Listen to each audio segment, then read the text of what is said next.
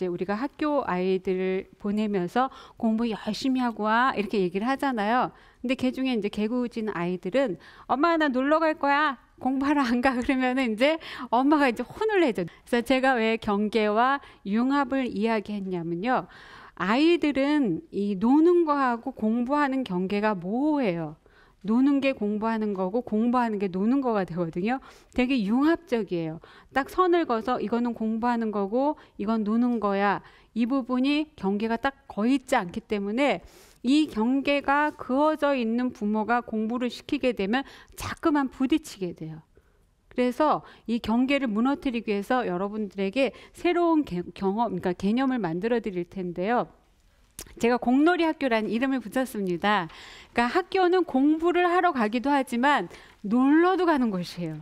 그래서 특히 이제 사춘기 학생들한테 학교 왜 가니 그러면요 친구 만나러 간다고 그래요. 공부하러 간다는 한 명도 없어. 요 친구를 만나서 공부하겠어요. 놀러 가는 거죠. 그러니까 특히 사춘기 청소년기 아이들은 학교가 친구를 만나는 사교의 장이 되고 아, 학교에 가서 노는 놀이의 장이 되는 거예요. 근데 야 너 그렇게 할 거면 학교 가지 마 이렇게 하면 안 된다는 거죠.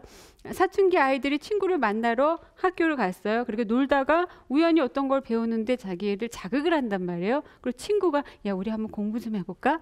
그러면서 이제 친구하고 어떤 연합을 통해서 공부를 할 수도 있고. 근데 들어가는 입구부터 공부와 놀이를 딱 구분하게 되면은 아이 머릿속에는 고정관념이 생겨서 공부는 되게 통제적이고 딱딱하고 재미없는 걸로 생각할 수가 있어요. 그래서 아이가 이제 학교를 학교 잘 갔다 와 이렇게 얘기를 하면서 어 우리 그 수진이는 학교를 왜 갈까? 이렇게 한번 물어보세요. 그러면 공부하러 가지? 이렇게 얘기를 하면 어 공부하러 가는구나. 이렇게 얘기해 주시면 뭐 쉬운데 아 엄마 놀러 가요. 그러면 어 그래. 학교 가서 어떤 놀이를 하는 하는데 그러면서 이제 물어보시면서 어, 그 놀이가 그렇게 재밌니? 그래서 그 아이에게 이 포커스가 맞춰진 그 얘기를 듣는 거죠. 그러면서 엄마가 약간 리액션을 해줘야 되는 게 어머 진짜 재밌다 이렇게 해주셔야 돼요. 재미 없어도 어 진짜 재밌다. 그러나 그 아이가 재밌기 때문에 우리는 재밌다고 공감을 해줘야 됩니다.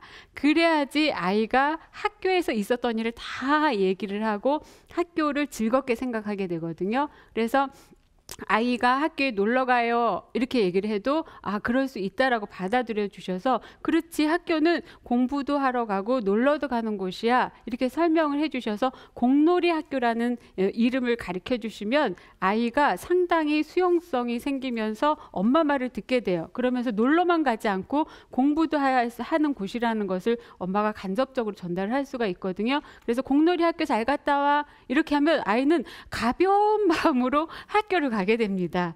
그러면 학교에 갈 때 기분 좋게 가기 때문에 어, 행동들도 긍정적으로 하게 되고 선생님 이야기를 잘 듣게 되고 공부를 할 때 집중도 잘하게 되거든요. 그래서 여러분들이 이제 학교 공부를 꼭 학교에서만 하는 건 아니지만 학교의 개념과 공부의 개념을 잘 연결해서 공부를 시작하게 되면은 아이들하고 공부를 즐겁게 시작할 수가 있어요. 그래서 학교는 공부도 하는 곳이지만 놀러도 가는 곳이다. 그러면 이제 사실은 연합이 필요해요. 엄마는 공놀이 학교라고 보냈는데 어, 우리 선생님들이 이제 놀이 아이가 놀이를 하려고 그랬대 학교 공부하러 갔지 놀러 왔어 이러면 이제 곤란하겠죠.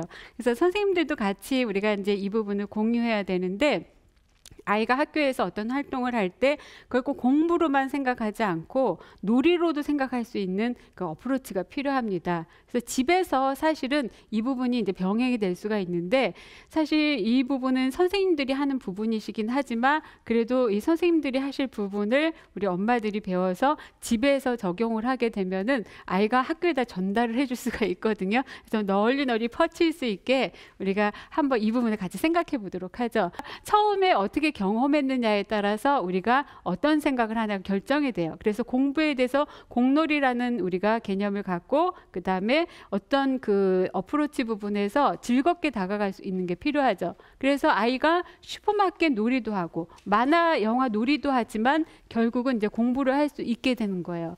그래서 어프로치는 처음에 이렇게 공부를 공부에 다가가는 것은 경계를 좀 무너뜨리면서 즐겁고 가볍게 가는 게 첫 번째 단계입니다. 그래야지 공부에 대한 편견이나 오만한 태도를 우리가 버릴 수가 있어요. 그래서 이 부분을 싹 제거를 하고 나서 시작을 해야지 공부를 잘할 수가 있어요.